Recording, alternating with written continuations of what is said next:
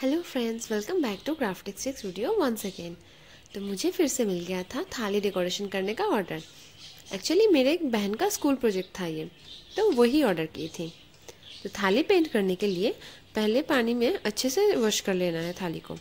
और इसके बाद मैं थर्टी मिनट्स तक इसको भिगो के रखी थी. पानी में भिगो के रखने का रीज़न यही है कि पानी जितना एब्जॉर्व हो जाएगा कलर करने के टाइम उतना ही कम कलर यूज़ करना पड़ेगा और कलर अच्छे से एब्जॉर्व भी हो जाता है।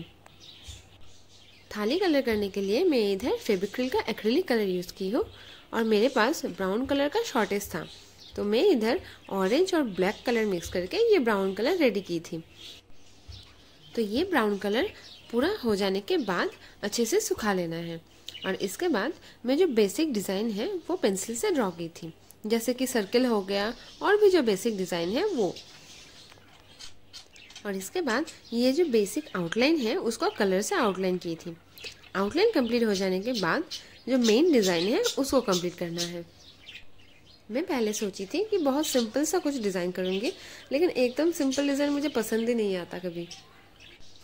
तो इसके बाद मैं ये डिज़ाइन अपने हिसाब से कंप्लीट की थी।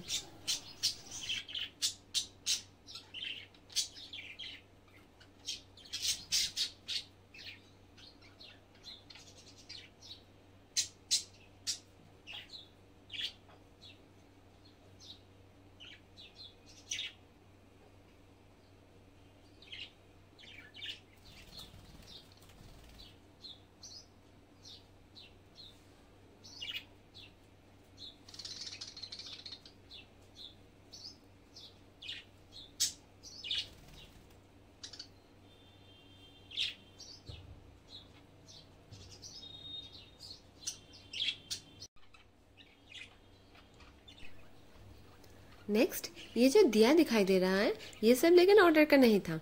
दिवाली का सीज़न चल रहा था तो मैं सोची इसको भी कलर करके थोड़ा वीडियो बना लेते हैं। मेरे चैनल के लिए भी काम आ जाएगा।